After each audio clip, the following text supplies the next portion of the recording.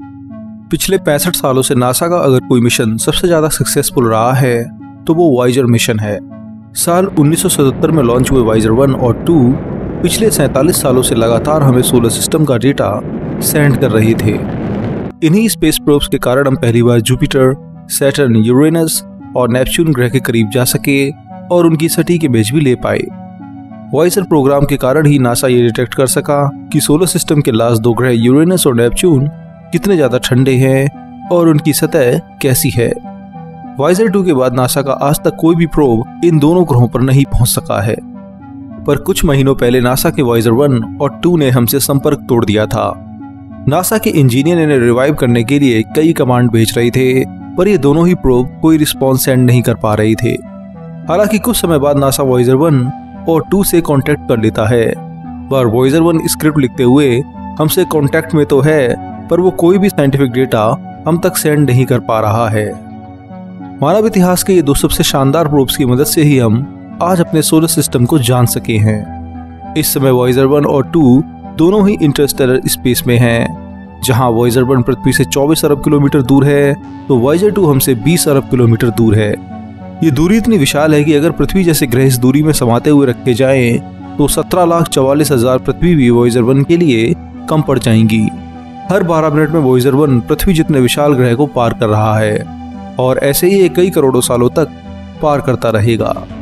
पर Voyager one और to की इस दूरी और स्पीड के बाद भी ये हमसे अभी भी संपर्क में है, और इनकी मदद से लगातार इंटरस्टेलर स्पेस का साइंटिफिक डेटा लेते आ रहे हैं। तो ऐसे में क्या आपके मन में कभी विचार आया है कि पृथ्वी से 24 अरब किलोमीटर दूर, जहाँ लाइट को भी जाने में 22 घंटे लगते हैं, वहाँ से हम इन छोटे से स्पेस प्रोब्स को कैसे कंट्रोल करते हैं? और वो कैसे हमें पृथ्वी पर नासा को अपनी सारी जानकारी और पोजीशन देते रहते हैं।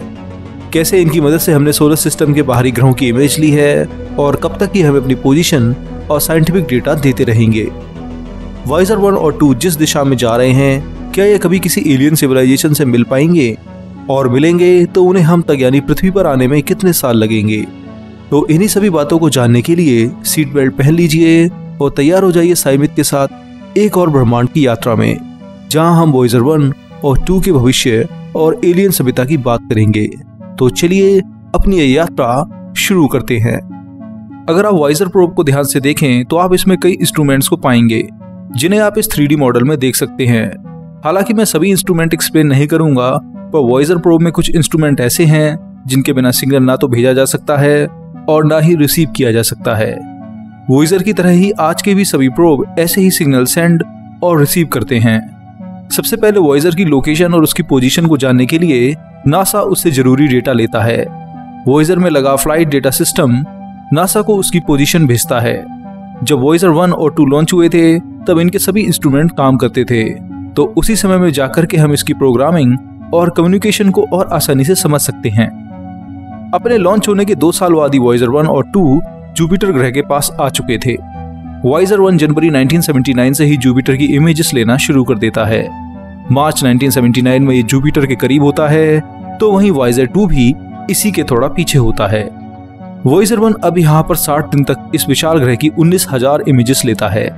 आप स्क्रीन पर इन इमेजेस को देख सकते हैं। वाइजर प्रोब्स में तीन तरह के कंप्यूटर होते हैं, जो बहुत कम मेमोरी में ही अपने सभी काम करते हैं। इसी मेमोरी के कारण ही इन कंप्यूटर्स में कमांड स्टोर होती है। और आगे प्रोसेस होती रहती है। तो वाइजर प्रोब सबसे पहले अपने मेन कैमरे से इमेज कैप्चर करते हैं, जो कि ब्लैक एंड व्हाइट होती है। उसके बाद कैमरे द्वारा ली गई एनालॉग इमेज यानी एक ही तरह की ब्राइटनेस पर ली गई इमेज को वाइनरी फॉर्म में कन्वर्ट किया जाता है। इस वाइनरी डेटा में हर एक पिक्सल की ब्राइटनेस का डेटा होता है। उसके बाद वाइजर का कंप्यूटर कमांड सिस्टम इस इमेज को हाईली कंप्रेस करता है, ताकि डेटा का साइज़ कम हो और इंफॉर्मेशन बनी रहे। अरबों किलोमीटर की दूरी पर कंप्रेशन बहुत ज़रूरी होता है। इसके बाद वाइजर इस कंप्रेस डेटा को रेडियो सिग्नल्स में इनकोड करता है, ताकि इसे आसानी से ट्रांसमिट किया जा सके। इनकोडेड सिग्नल फिर वाइजर में लगे हाई गेन एंटीना में जाता है, जो इसे फिर एक पतली बीम के ज़रिए पृथ्वी पर भेजता है। यहाँ तक वाइजर का काम पूरा हो चुका है और सिग्नल पृथ्वी पर आ चुका है। अब पृथ्वी पर लगा डीप स्पेस नेटवर्क इसे रिसीव करता है। ये नेटवर्क पृथ्वी के तीन अलग अलग हिस्सों पर लगे विशाल का रेडियो एंटीनो के ज़रिए बना है, जो कि पूरी पृथ्वी को एक तरह से कवर करते हैं। नासा के प्रोब्स इसी नेटवर्क पर डिपेंड हैं और वैज्ञानिक इसी के सहारे कई रेडियो वेव्स को डिटेक्ट करके उसे पढ़ते हैं। तो वाइजर के हाई गेन एंटीना से आया सिग्नल पृथ्वी पर डीप स्पेस नेटवर्क को मिल चुका है। अब डीप स्पेस नेटवर्क इस सिग्नल को एम्पलीफाई करता है। ऐसा इसलिए क्योंकि अरबों किलोमीटर दूर से आया रेडियो सिग्नल काफ़ी वीक होता है। इसलिए एम्पलीफिकेशन के ज़रिए ही इसे आगे प्रोसेस किया जाता है। इसके बाद यह सिग्नल वैज्ञानिकों के पास जाता है। नासा की जेट प्रोपोर्शन लेबोरेटरी इन सिग्नल को डिकोड करती है और बाइनरी फॉर्मेट में आए इन सिग्नल्स को पिक्सल की ब्राइटनेस के आधार पर फिर कंप्यूटर द्वारा आगे इमेज बनाने के लिए प्रोसेस कर दिया जाता है।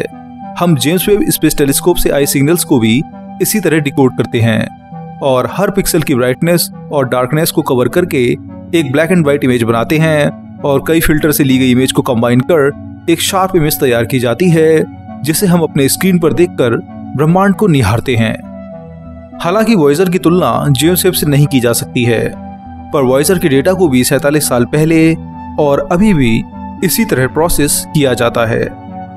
रेडियो वेव्स की वेवलेंथ बहुत ज़्यादा होती है, इसलिए स्पेस में भेजे गए प्रोब्स इसी के ज़रिए अपने सिग्नल भेजते हैं। दूसरा इसे जिस फ्रीक्वेंसी पर भेजा जाता है, वो आम टेलीफोनिक डिवाइस और टीवी से बहुत ज़्यादा ताकतवर होती है, जिस कारण डीप स्पेस नेटवर्क इसे अलग से कवर कर हमें प्रोसेस करने के लिए सेंड कर देता है। पर अब वाइजर प्रोब्स की पावर बहुत कम हो चुकी है। प्लूटोनियम 238 पर चलने वाले ये प्रोब्स अपने लॉन्च होने के हर साल बाद 0.79 परसेंट के रेट से अपनी पावर कम करते जा रहे हैं। और इतने सालों में कई इमेजेस और डीप स्पेस और आइस जॉइंट यूरेनस और नेपच्यून की इमेजेस भेजने के कारण इनकी पावर अब बस खत्म होने के कगार पर है। प्लूटोनियम 238 की हाफ़ लाइफ 87 साल है।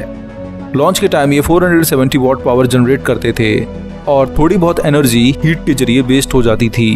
अब जैसे जैसे सैतालीस साल हो गए हैं तो फ्यूल भी काफ़ी कम बचा है और वॉइजर वन इसी कारण अब बहुत कम पावर पर काम कर रहा है।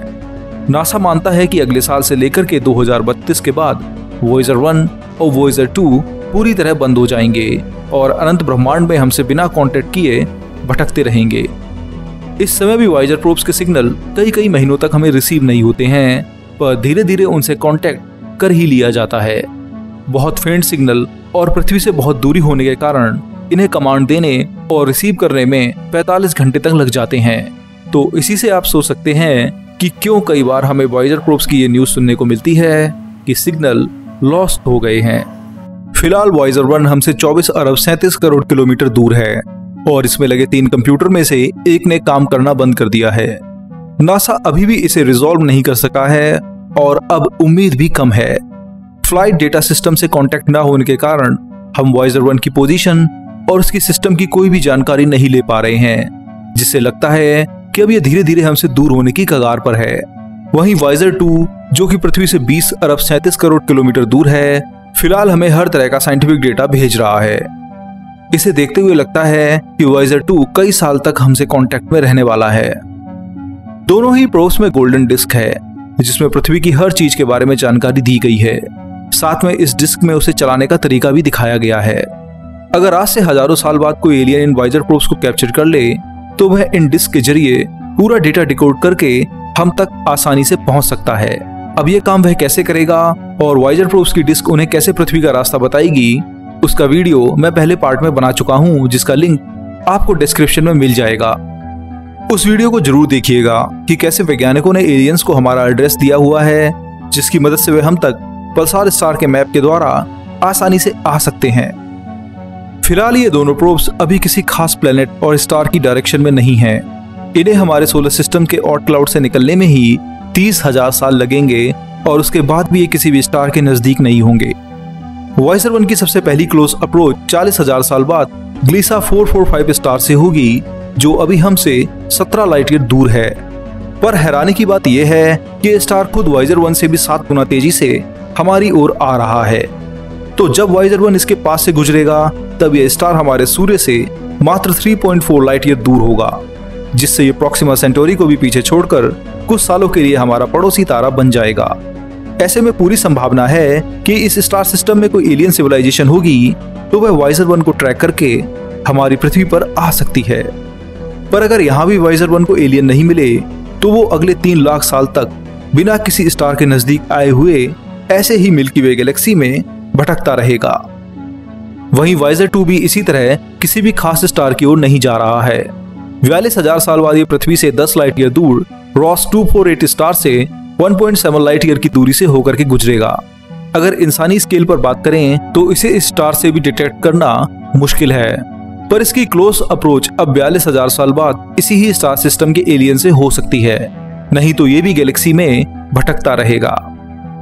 वाइजर प्रो की भले ही पावर चार या आठ साल बाद खत्म हो जाए, पर इनकी गोल्डन डिस्क और ये प्रोब्स चार अरब साल तक बिना किसी एस्ट्रॉइड से टकराए हमारी गैलेक्सी में भटकते ही रहेंगे, जो सच में हैरान कर देता है। वाइजर प्रोब्स मानव द्वारा बनाई गई पहली ऐसी चीज़ है जो इंटरस्टेलर स्पेस में गई हैं। और इसका ये रिकॉर्ड अब कोई भी नहीं तोड़ सकता है। कितनी भी सभ्यता आए, पर ये प्रोब्स अब अरबों सालों तक मानवों की गाथा लिए, ब्रह्मांड में एलियंस का इंतज़ार करते ही रहेंगे। ये भी हो सकता है कि हम इंसानों की भविष्य की सभ्यता ही इन प्रोब्स को खोजकर हमारे बारे में जाने। ये सोचकर ही मैं हैरान हो जाता हूँ कि ब्रह्मांड कितने रहस्यों को अपने अंदर समेटे हुए है। दोस्तों, इस वीडियो में इतना ही।